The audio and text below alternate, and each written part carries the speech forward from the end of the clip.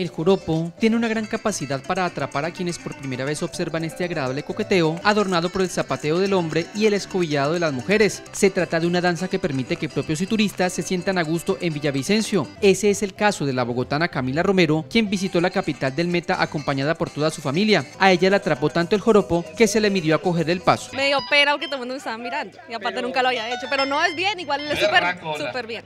Camila no fue la única visitante que, encantada por el joropo, interpretó esta danza en la pista de baile que habilitó el gobierno Unidos Podemos en la vereda Limoncitos, en la vía que conduce a Bogotá. Este sitio se convirtió en una parada obligada para los turistas. Me enamoran los amaneceres, me enamora la ciudad, me enamora el clima. Eh, la gente también es muy cariñosa. Nos parece una tierra muy hermosa, la verdad ya no es lo más espectacular que puede tener Colombia para mí. Gastronomía, sus paisajes, muy bonito todo, pues venir a uno a visitar acá a Villavicencio. Además de disfrutar del folclor llanero, los visitantes recibieron detalles de la campaña Enamórate de Villavicencio y llevaron estampado en sus vehículos un recuerdo de nuestra ciudad. Cerca al peaje Pipiral también se habilitó otra parada. La jornada se realizó con el apoyo de Coviandes y la Policía de Turismo.